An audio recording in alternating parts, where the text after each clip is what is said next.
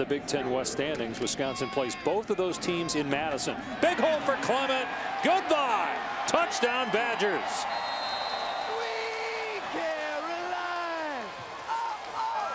Corey's family are about an hour and a half away.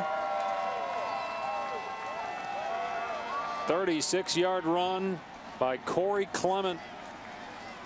He's over 100 yards today. Two touchdowns for him, two for Gordon. And it's a blowout. You see the explosion of Corey Clement